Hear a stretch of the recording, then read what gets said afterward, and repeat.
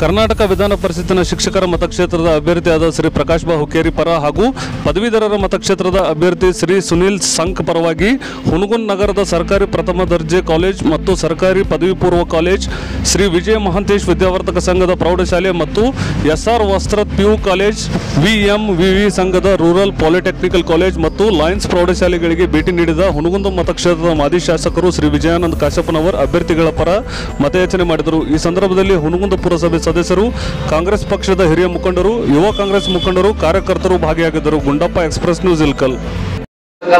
ತಮ್ಮ ಒಂದು ಇದು ಇವತ್ತು ಶಿಕ್ಷಕರ ಯಾವುದೇ ನ್ಯಾಯವನ್ನು ಕೊಡಿಸುವಂಥದ್ದಾಗಿರ್ಬೋದು ಅಥವಾ ಧ್ವನಿಯನ್ನ ಎತ್ತುವಂತ ಕೆಲಸ ಕೂಡ ಇವತ್ತು ಸದನದಲ್ಲಿ ಆಗಲಿಲ್ಲ. ಆದ ಕಾರಣ ಜನರು ಬದಲಾವಣೆಯನ್ನು ಬಯಸಿದರೆ ನಾವು ಕೂಡ ಆ ಬದಲಾವಣೆಯನ್ನು ಬಯಸಿ ಆಶೀರ್ವಾದ ಮಾಡೋದ್ರ ಮುಖಾಂತರ ನಮ್ಮ ಇಬ್ಬರು ವ್ಯಕ್ತಿಗೆ ಮತವನ್ನು ಕೊಡಬೇಕು ಅಂತ ಹೇಳಿ ನಾನು ಮತ್ತೊಮ್ಮೆ ತಮ್ಮಲ್ಲಿ ವಿನಂತಿ ಮಾಡಿಕೊಂಡು ಈ ಒಂದು ಅವಕಾಶವನ್ನು ಕಲ್ಪಿಸಿಕೊಟ್ಟು ನಾನು ಬರ ನಮ್ಮ ಪಕ್ಷದ ಚುನಾವಣೆ ಪ್ರಣಾಳಿಕೆಯಲ್ಲಿ ಕೂಡ ಇವತ್ತು ಅದನ್ನು ಅಳವಡಿಸಿ. ಇವತ್ತು ಅದನ್ನ ಜಾರಿಗೆ ತರಬೇಕು ಅನ್ನೋ ನಿಟ್ಟಿನಲ್ಲಿ ಇವತ್ತು ಅವರು ಮಾತನಾಡಿ ಬಹಳ ಸ್ಪಷ್ಟವಾಗಿ ಹೇಳಿದ್ದಾರೆ ಆ ಕಾರಣಕ್ಕೆ ಇವತ್ತು ನಾನು ಕೂಡ ಒಬ್ಬ ಮಾಜಿ ಶಾಸಕನಾಗಿ. ಯಾಕಂದರೆ ನಾನು ಕೂಡ ವಿಧಾನಸೌಧದಲ್ಲಿ ಅನೇಕ ವಿಷಯದಲ್ಲಿ ಭಾಗವಹಿಸಿದ್ದೇನೆ ಬಹುತೇಕ ಅನುಭವ ನಮಗೂ ಕೂಡ ಇದೆ.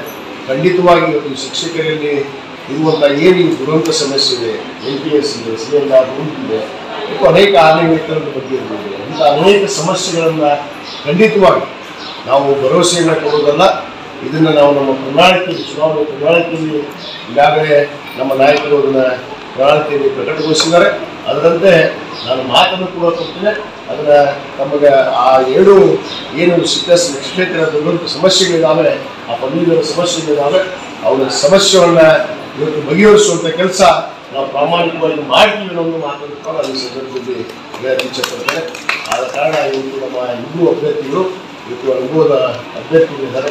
ಒಳ್ಳೆಯ ಒಂದು ಭ್ರಷ್ಟ ಅಧಿಕಾರವನ್ನು ನೀಡುವಂಥ ಒಂದು